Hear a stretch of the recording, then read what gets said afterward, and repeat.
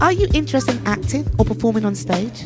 Well, BAP, the Black Arts Production Theatre Limited, Haringey's oldest established theatre company, is looking for people like you.